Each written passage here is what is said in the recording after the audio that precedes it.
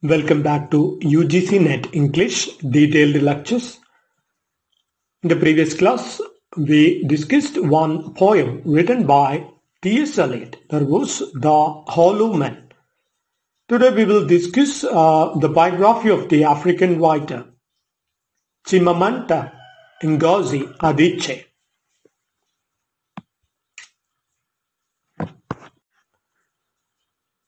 Chimamanda Ngozi Adichie was born in 1977. She is from Africa, an African writer from Nigeria. So she is a Nigerian writer and she uses the pen name Amanda N. Adichie. Uh, so the pen name used by Chimamanda Ngozi Adichie is Amanda N. Adichie. She is the daughter of her parents James Nwoye Adichie and Grace Ifeoma. James Nwoye Adichie and Grace Ifeoma. And uh, Chimamanda Ngozi Adichie married the man Ivara Ezenke. Ivara Ezenke.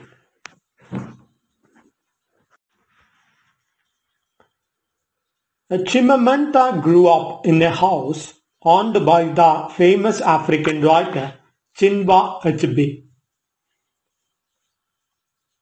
She studied medicine and pharmacy at the University of Nigeria for a year and a half.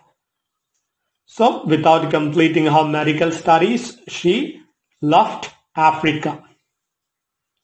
And then she came at the age of 19 she left Nigeria for the United States. So after that, leaving her medical studies, she came to the United States to study communications and political science. And she acquired total three degrees.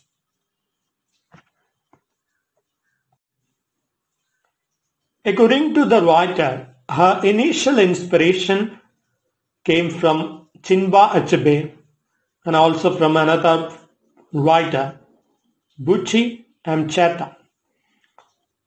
So, two African writers influenced Chimamanda Ngozi Adichie. So, they were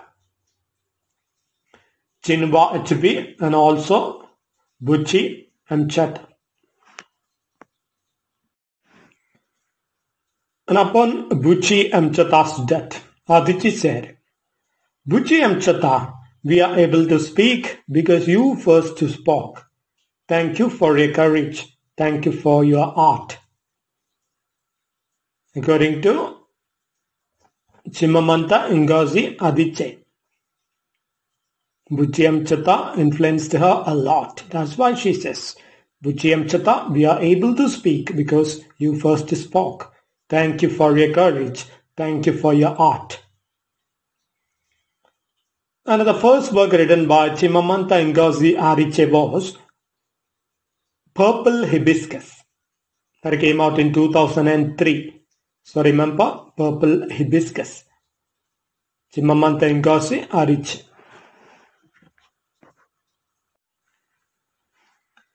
And Adichie's work that is The Thing Around Your Neck is a collection of 12 short stories that explore the relationships between men and women, parents and children, Africa and the United States. So remember, the short story collection, The Thing Around Your Neck, is written by Chimamanda Ngozi Adichie. It's a collection of 12 stories that explore the relationships between men and women, parents and children, Africa and the United States.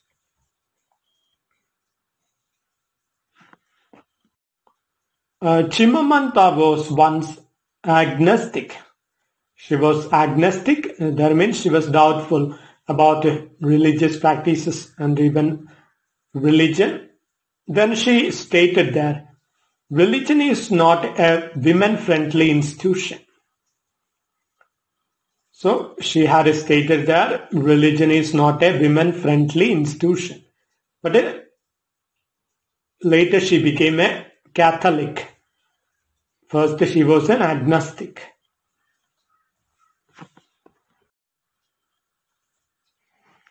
And Chimamanda Ngozi Adichie supports LGBT rights in Africa. LGBT means we know that the queer term, lesbian, gay, bisexual, transgender. So she supports third sex rights.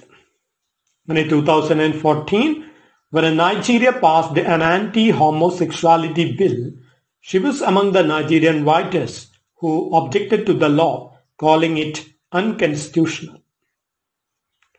She is a supporter of LGBTQ.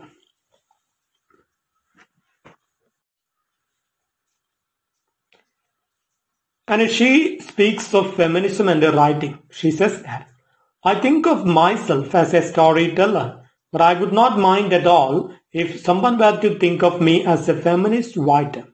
I am very feminist in the way I look at the world, and that worldview must somehow be part of my work. So, this is the idea on feminism by Chimamanda Ngozi Adichie. According to her, I think of myself as a storyteller, but I would not mind at all if someone were to think of me as a feminist writer. I'm very feminist in the way I look at the world, and that worldview must somehow be part of my work.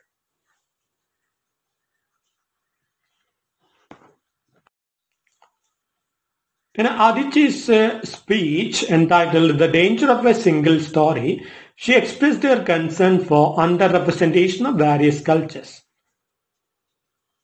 So, the suppression of the African culture. That is what she means when he speaks or she hints in her speech. That is the danger of a single story. She hints that this is not a good, the underrepresentation of some culture, especially African culture. After going to America, she might have felt some discrimination. That's one. And she projects the idea we should all be feminists. And she hates the term Mrs. as an advocate of feminism and women's rights. She voiced her opinions on marriage and associated titles that came with it. So she doesn't support the idea of adding Mrs. after marriage. So she loves to be addressed as Miss rather than Mrs. She said that her real heroes are ordinary women who fend for their families and hold the families together. So her role models are ordinary women, according to Chimamanda Ngozi Adichie. Now let's analyze her works. First one, Decisions for Love of uh, Biafra. That Harmattan Morning. Purple Hibiscus half a yellow sun. The thing around your neck. Americanah. We should all be feminists. The tree in grandma's garden.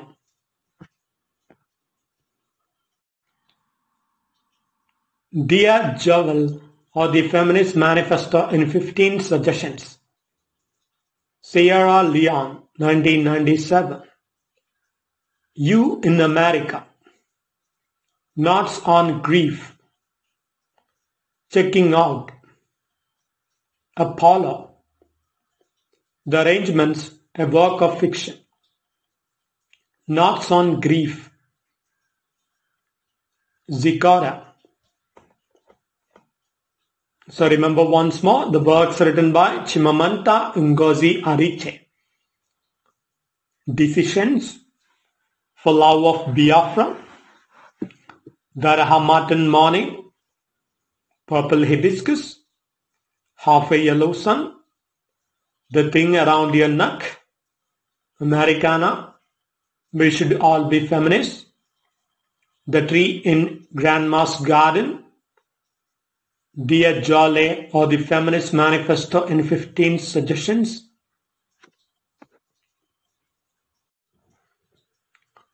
Sierra Leone 1997, You in America, Notes on Grief, Checking Out, Apollo, The Arrangements, a work of fiction, Notes on Grief, Zikora.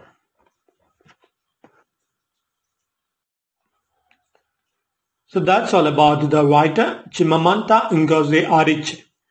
In the next class, we will discuss one of Shakespeare's plays, that is his history play, King John, or we can say the life and death of King John.